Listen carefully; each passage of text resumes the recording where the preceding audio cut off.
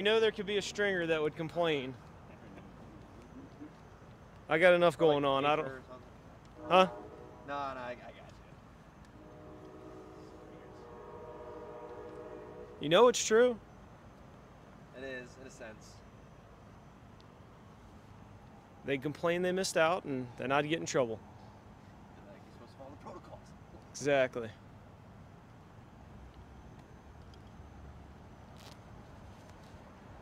there a pipe in there? Yeah,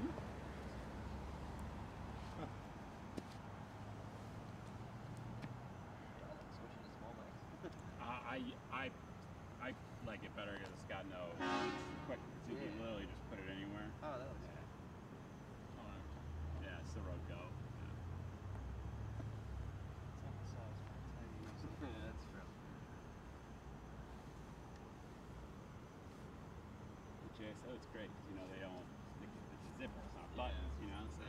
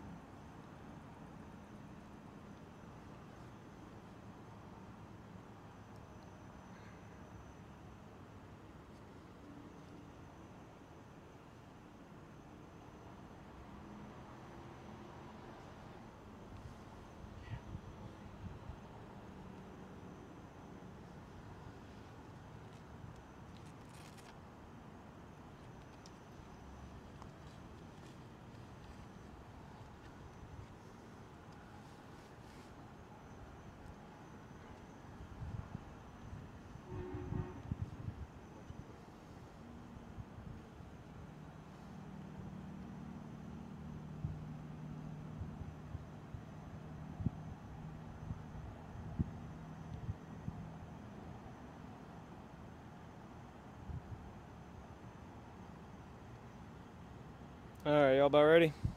Yes, sir. Let me know when y'all ready. Good. Good? Good. Good, good. On you. Evening, I'm Lieutenant Deal with the Jacksonville Sheriff's Office. At approximately 9:20 p.m., officers responded to the 400 block of Belfort Street in reference to a person shot. Upon arrival, they located two victims, one black female, one black male. Both sustained minor injuries that were not required transport to a local hospital. Uh, at this time, there is no suspect information. Uh, violent crimes uh, unit is responding to conduct further investigation. Anyone with any information is encouraged to call the non-emergency number at 630-0500 or Crime Stoppers at 1-866-845 TIPS. What's with the scene on Stockton? There was a lot of uh, evidence markers around that food mart. Uh, as far as we know, that could be related.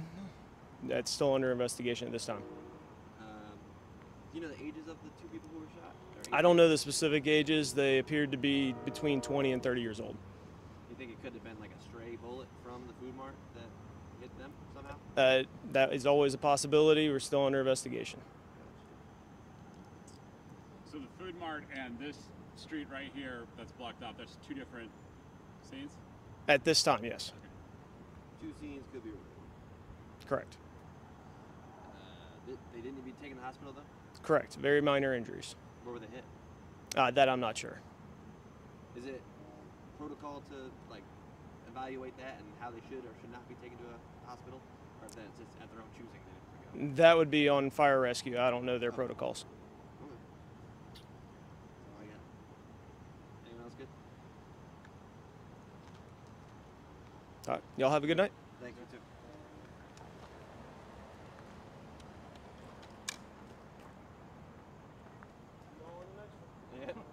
Until next time.